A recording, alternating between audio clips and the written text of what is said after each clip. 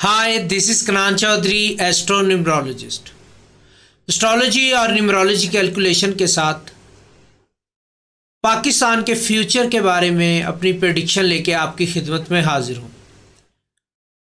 Astrology और numerology calculation से मुख्तलिफ़ टॉपिक पे आप मेरी प्रडिक्शंस देखते रहते हैं और स्पेशली पाकिस्तान के फ्यूचर के बारे में मैं हमेशा प्रडिक्ट करता रहता हूँ। 2022 के आगाज़ में मैंने मुख्तलिफ़ टी वी चैनल्स पे ये पेश गोई की थी कि मार्च 2022 के बाद महँगाई बढ़ती हुई नज़र आएगी पाकिस्तान में। और हमने देखा कि मार्च में इमरान खान साहब ने रिलीफ दिया था पेट्रोल के ऊपर दस रुपये कम किए थे। और उसके बाद फिर हमने देखा कि उसके बाद अप्रैल में पेट्रोल बढ़ा और दोबारा फिर आ, मई, जून में भी पेट्रोल की प्राइसेस काफ़ी बढ़ गई, यानी साठ रुपये तब से अब तक पेट्रोल बढ़ चुका है। जब पहले तीस रुपये पेट्रोल की प्राइसेस बढ़ी तो तब मैंने बोल टीवी पे ये प्रडिक्शन दी थी कि पेट्रोल की प्राइसेस मज़ीद बढ़ेंगी। तो तब बड़े हैरान हो रहे थे लोग कि अभी तीस रुपये तो एक साथ बढ़ी हैं, फिर दोबारा कैसे बढ़ेंगी? तो फिर तीस रुपये दोबारा से बढ़ गई।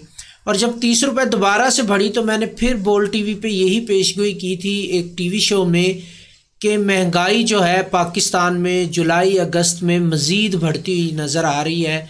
तो महँगाई के हवाले से तो अब भी मेरी पेशगोई यही है।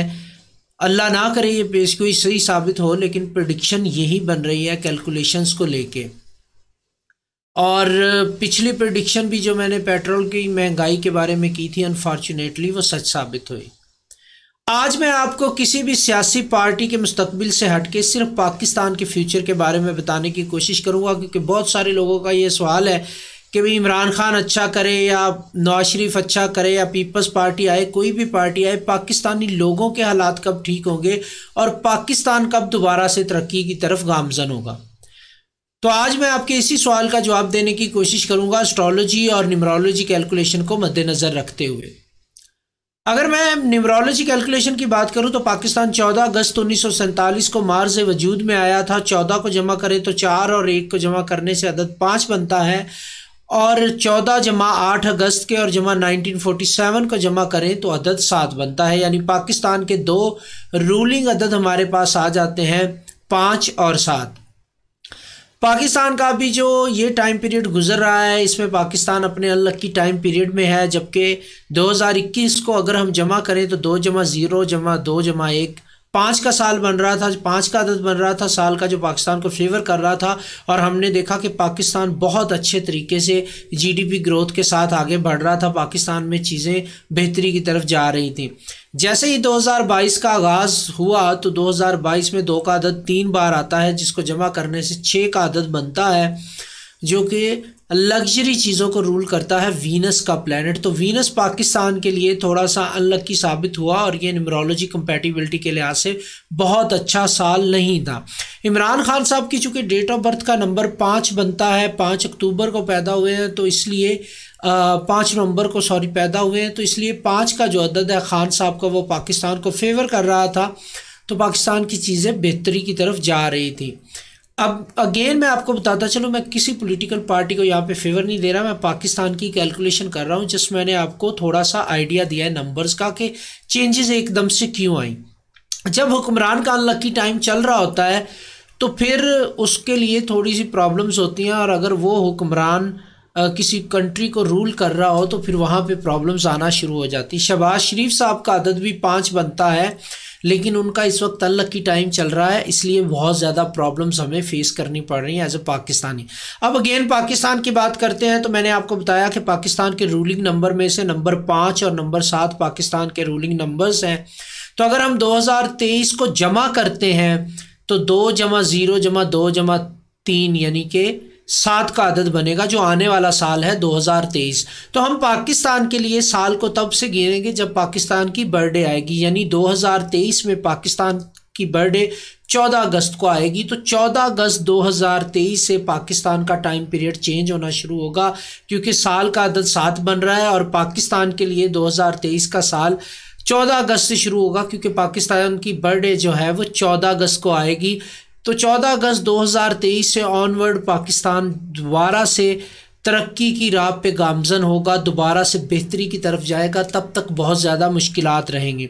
अब वापस आते हैं 2022 की तरफ़। 2022 की अगर मैं बात करूँ तो जुलाई अगस्त में पाकिस्तान के रूलिंग नंबर्स आ रहे हैं।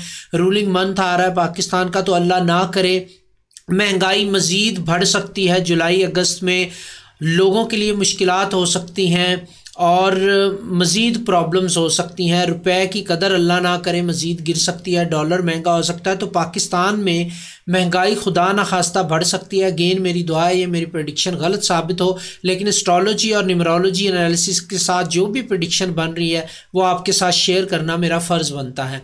तो मुझे ऐसा लगता है कि अनफॉर्चुनेटली जुलाई, अगस्त के महीने काफ़ी मुश्किल होंगे लोगों के लिए।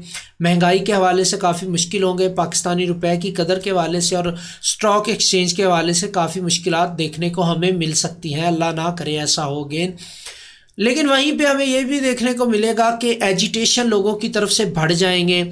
जब भी किसी कंट्री में प्रॉब्लम वाला टाइम चल रहा होता है कंट्री का या हुक्मरान का तो वहाँ पे जब रूलिंग नंबर्स के मंथ आते हैं या रूलिंग नंबर आना शुरू होते हैं तो लोगों की अंदर गमो गुस्सा शुरू हो जाता है, आना तो एजिटेशन होते हैं वहाँ पे। तो मुझे ऐसा लगता है कि जुलाई और अगस्त के महीने में अच्छी खासी एजिटेशन हमें लोगों की तरफ़ से या पार्टीज़ की तरफ़ से देखने को मिलेंगे और काफ़ी सारी प्रॉब्लम हो जाएँगी लोगों के लिए भी गवर्नमेंट के गवर्नमेंट के लिए क्या प्रॉब्लम होंगी? लोगों के लिए प्रॉब्लम होंगी महँगाई की वजह से। डेफिनेटली गवर्नमेंट भी प्रॉब्लम में आएगी। जुलाई, अगस्त, सितंबर ये वो महीने हैं, तीन महीने में ग्रेजुअली गवर्नमेंट का अनलकी टाइम जो है वो बढ़ता जाएगा। तो यहाँ पे गवर्नमेंट के लिए प्रॉब्लम होंगी, पाकिस्तान के लिए महँगाई के हवाले से इश्यूज़ होंगे। पाकिस्तान की इकॉनमी को लेके बहुत बड़े चैलेंजेस जुलाई और अगस्त में हमें देखने को मिल सकते हैं।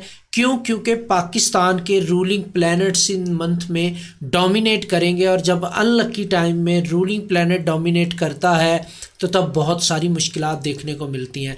तो एस्ट्रोलॉजी और न्यूमरोलॉजी कैलकुलेशन हमें ये बताती है कि इन पाकिस्तान का बहुत अच्छा और लकी टाइम अगस्त 14 अगस्त 2023 से शुरू हो जाएगा, लेकिन तब तक हमें काफ़ी सारी मुश्किल अप्स एंड डाउन्स का सामना रहेगा स्पेशली 2022 के जुलाई और अगस्त काफ़ी मुश्किल मंथ हो सकते हैं। लोग एहतजाज भी करेंगे, गवर्नमेंट के लिए प्रॉब्लम्स क्रिएट करेंगे और गवर्नमेंट, शायद महँगाई को कंट्रोल ना कर पाए और पाकिस्तान में इकॉनमी के इश्यूज़ हों और लॉ एंड ऑर्डर की सिचुएशन भी मुझे प्रॉब्लम में नज़र आ रही है आने वाले टाइम पीरियड में।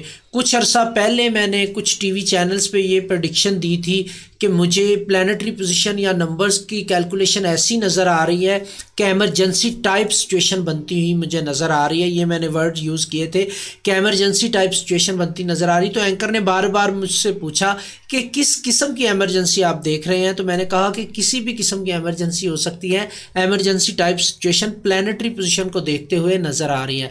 अभी हमने देखा रिसेंटली मुआशी एमरजेंसी का हुकूमत ने ज़िक्र किया है कि मुआशी एमरजेंसी लगाई जा रही है। तो जब प्लानटरी पोजीशन एमरजेंसी की तरफ़ इशारा दे रही थी तो मुआशी एमरजेंसी हमें देखने को मिली और फेस करने को भी मिल रही है।